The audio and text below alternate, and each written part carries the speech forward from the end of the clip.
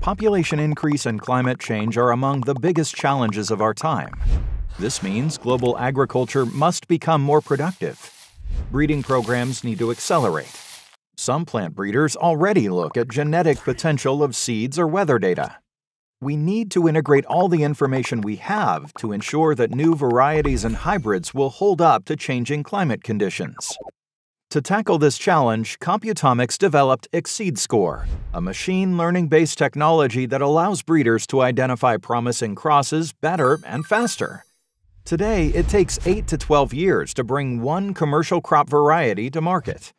xSeedScore reduces time to market by 2 to 6 years. Our technology delivers up to 10 times more candidates for commercial evaluation. Why?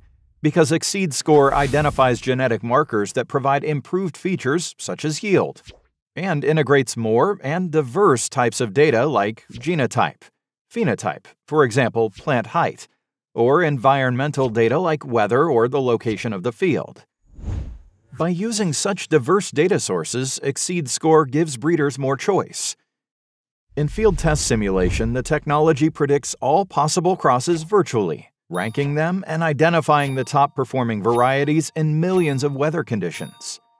In short, xSeedScore tests more crosses at a fraction of the time and cost, and it outperforms statistical methods. This shortens the breeding cycle and therefore the time to market. Additionally, xSeedScore helps to optimize varieties for specific geographical regions and extreme climates. And that's not all. The more data the machine learning technology processes, the better it gets. So, xSeedScore becomes more accurate in predicting seed crosses and geographical matches over time.